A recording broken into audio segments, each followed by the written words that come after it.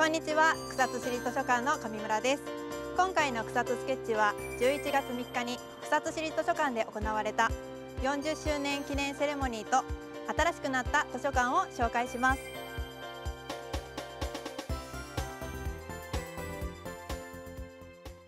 草津市立図書館は昭和58年の開館以来市民の皆さんに支えられたくさんの方に利用されてきました。草津市は1人当たりの貸し出し冊数が全国平均のおよそ1.7倍と読書が盛んな町です。そんな市民に親しまれている図書館は今年で開館40年を迎えさまざまな取り組みが行われています。開館40周年を記念して移動図書館社青花号が新たに加わりました。青花号はおよそ1000冊の本を載せて市内の小学校を巡回しますまた屋外でも読書が楽しめるように図書館入り口横に新たに屋外読書スペースを設けました。この他にも図書館専用アプリ草津リブミルを使った貸し出しサービスを開始しスマートフォンのアプリ画面を窓口で提示するだけでスムーズに貸し出しができるようになったほか長い間読み継がれてきたおすすめの児童書を新調し絵本児童書コーナーがリニューアルされました。セレモニーでは長年にわたり図書館での読書活動に貢献した団体への感謝状贈呈式が行われました。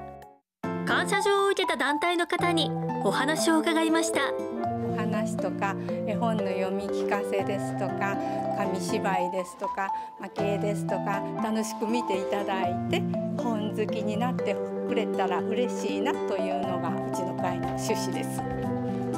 話をしてるうちにね前の方に来てくれるとかね子どもたちが一つにまとまって反応してくれてあれが面白かったこれが面白かったとかって感想を言ってくれたりまた来てねとか そういうお声はよくいただきます。まあ、今まで続けてきたお話会の活図書館さんのサポートが随分あるんです。司書さんからもいろいろアドバイスいただいたり互いに刺激し合って成長している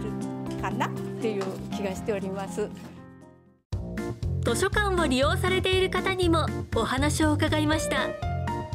読んで楽しいところがあったらそれを借りたりいろんなものを探したりしていろんな本を読んで楽しめる40歳おめでとう。面白い本とかいっぱいあるから絵本読むの好きやからそこが好き。子供が絵本好きなんで自分らで買うと高いじゃないですか。やっぱり図書館で借りて見れるんで来てます。できた頃からいいなと思ってよく通わせていただきました。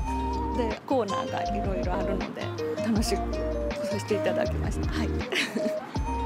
今こういうあのテラスがあって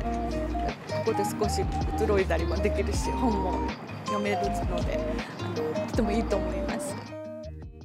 新しくなった本や図書館をこれからもたくさん活用してください。また40周年記念イベントの一つとして12月17日日曜日には中高生らが声優や脚本家とともに作る声優朗読劇を予定しています。ぜひ図書館に足を運んでみてください。